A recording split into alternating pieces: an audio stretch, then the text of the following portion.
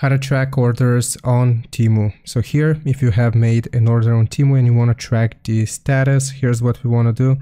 Click on the Temu app and just log in with your account. Then what you're gonna do is press on new found at the bottom. So after you have clicked on new, you will see a section here called your orders. So just click on your orders and you can see all of your currently made orders. So if you want to track them, you can go in the different fields here at the top. So we have processing orders, some shipped orders, delivered orders, and if you have made any returns here, you will find them at the very last slot. So if you want to track your orders, you obviously just go to the orders tab. You can click on the order itself and see what the current status is. So I hope this helps. Leave a like and sub and I'll see you next time.